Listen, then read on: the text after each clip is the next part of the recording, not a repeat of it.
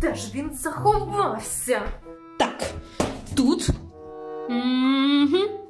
Пусто. Може тут? Там теж немає. Я знаю, де він засів. Ну, це останнє місце, де він може бути. Ага, ось ти де. Я знала, що знайду тебе тут. Алло, Служба безпеки України? Записуйте адресу. Я знайшла його. Анатолий Шарий, э, я всегда говорил, что это талантливый человек. Что же касается меня и моей семьи, то мы это будущее мирной и успешной Украины. Друзі, ну що ж, ми продовжуємо. У нас що вітаємо вас. У нас зараз ефір. Дякуємо вам. А, друзі, ми продовжуємо вас. А, наш ефір. Що тут скажеш? Добре, що нашу пані Валю я провела з офіса ще до початку зйомок. А у нас таке: Медведчук продовжує боротися за свій вплив. В Україні блокують проросійські телеграм-канали, а вчительку реперку звільнили через булінг колег. Про це говоримо далі. Ти скажеш, нас образила природа. О, ні, ні, вона дала нам мозок в розумній голові. А тут, як завжди, Андрій Андрійович Кущ Кави, Іполіт Інокентьєвич Заміокулькас та Ангеліна Сергіївна Гомо Сапіенс. Говоримо про усе найважливіше, що неслося у світі медіа, і про що хочеться вам розказати. Бо якщо вчора ви щось пропустили, сьогодні з вами це хтось має наздогнати. Ломакіна Yesterday тут. Погнали!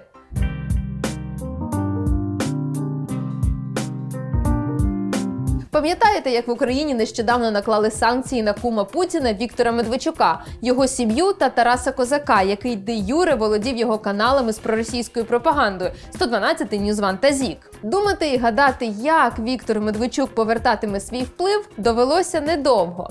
Русские не сдаются! Після багатогодинних марафонів з кричанням про наступ на свободу слова та чудернацьких БДСМ перформансів Медведчуківська команда перейшла до реальних дій. Воскресила холдинг новини, в який входили підсанкційні канали. Точніше, не воскресила, а створила товариство з обмеженою відповідальністю медіахолдинг новини зі статутним капіталом. Увага! У 100 гривень. Формально він належить співробітникам каналів Медведчука. І тут увага! Цей холдинг збирається створити свій канал на базі Львівського першого незалежного. Запуск планують у квітні 2021 року.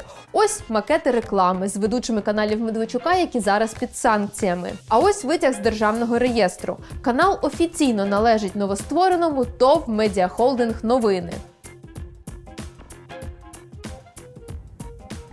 Роман Любицький, екс-власник ТОВ Тайм Медіа, якому належав канал Перший Незалежний, заявив, що не мав жодного відношення до продажу каналу новоутвореній юридичній особі ТОВ Медіахолдинг Новини. Усе робив представник за довіреністю. Ну зробимо вигляд, що ми повірили. В той час, коли у команді Медведчука шукають способів обійти санкції, його дружина, мов та свобода, що веде народ пензля Ежен де Лакруа, кидається на амбразури, захищаючи чоловіка. Пристрасно і зовсім не награно. Мой муж – доктор юридических наук, академик Национальной академии правовых наук, политический деятель, которого вы так панически боитесь. Цим відео Оксана Марченко оголосила, що йде в політику та вступить в партію, яку очолює її чоловік в опозиційну платформу за життя. С сегодняшнего дня я вступаю в партию «Оппозиционная платформа за жизнь», где своей главной задачей вижу защиту украинского народа от зеленого произвола и беззакония. В ОПЗЖ уже пророчить молодій політикині блискучу кар'єру, бачить в ній потенціал стати президентом, не зважаючи на брак політичного досвіду. Хоча кому це колись заважало? До речі, якщо вже ми тут згадали про президентство, у найкращих традиціях українського кумівства та розборок 90-х Оксана Марченко нагадала президентові України, як нібито саме вона колись пропхала його на 1 плюс 1. Когда однажды летом со своей многочисленной компанией, в том числе братьями Шефирами и другими артистами, пожаловал ко мне домой с просьбой о трудоустройстве. Я была гостеприимной и помогла с работой. Уже в конце 2003 года вы стали выходить на канале 1 плюс 1. Тобто, виходячи з логіки пані Оксани, якщо ти колись, ну теоретично, допоміг людині, яка потім стала президентом України, то вона має покривати твого чоловіка, який порушує закон? Чи до чого були ці докори? У відео Марченко пообіцяла, її сім'я стане світлим майбутнім України, де усі громадяни будуть захищені від беззаконня. Что же касается меня и моей семьи, то мы – это будущее мирной и успешной Украины, в которой все граждане будут защищены от беззакония и будут жить счастливо. А хтось може пояснити пані Оксані, що не всі українці мають у власності 97 офшорних компаній, і не всі українці володіють однією з найдорожчих яхт у світі за 200 мільйонів доларів. А санкції, до речі, цією яхтою не забороняють користуватися. А потім в Оксану Марченко вселився закон України про забезпечення функціонування української мови як державної, і вона раптом перейшла на українську. Але для чого? Щоб залякувати українців банальними маніпуляціями? Брати та сестри, українки та українці. Зеленський і його прихвостні воюють не з нами. Вони оголосили війну всім вам, українцям.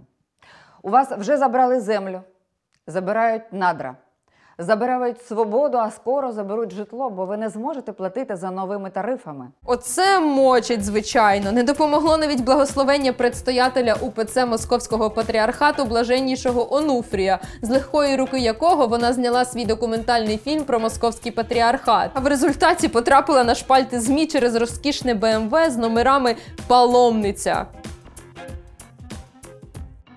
Боротьба за інформаційну безпеку нашої країни місцями схожа навіть не на боротьбу Дон Кіхота з вітряками, а на те, як я в дитинстві намагалася відлупцювати дощ, який намочив мою улюблену куртку. У попередніх випусках блогу я розказувала про телеграм-канали, які за офіційним повідомленням СБУ адмініструються за вказівками головного розвідуправління Росії. За розслідування СБУ безумовно лайк, адже важко було не помітити, як ці канали сіють паніку, топлять за проросійських діячів та поширюють вигадані інсайди, що не підтверджуються. Тож Київський районний суд Харкова наклав арешт на майнові права інтелектуальної власності чотирьох з цих телеграм-каналів і постановив закрити до них доступ. Закрити доступ, наприклад, до сайтів це одне.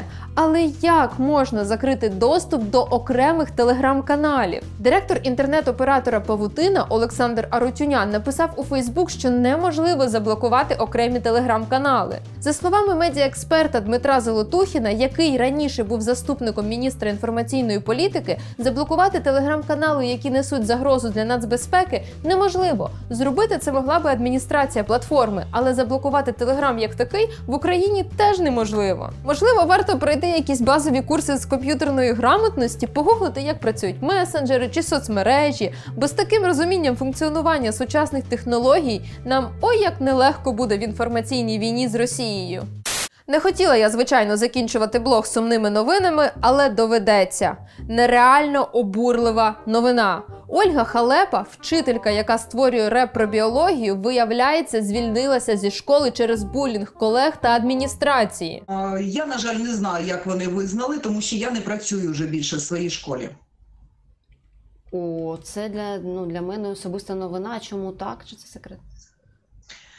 А от саме тому, що така креативна вчителька була їм е, весь час на заваді.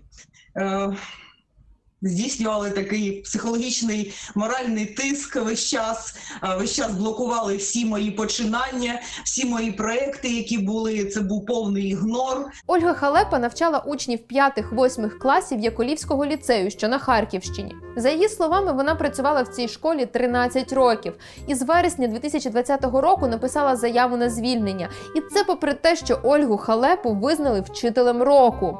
Під час карантину і вимушеного переходу на дистанційне навчання жінка почала записувати реп-уроки на різні теми зі свого предмету. А хто такий, ото є вірус, якщо в знаннях твоїх є мінус.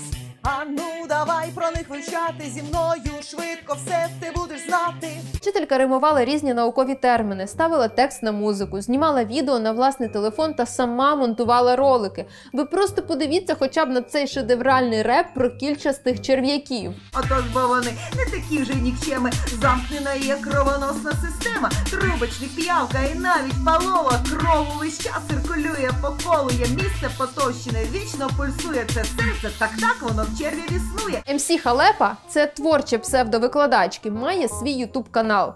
Пропоную сходити туди та підтримати його лайками та коментами, щоб вона могла і далі створювати свої реп-шедеври, не зважаючи на звільнення зі школи.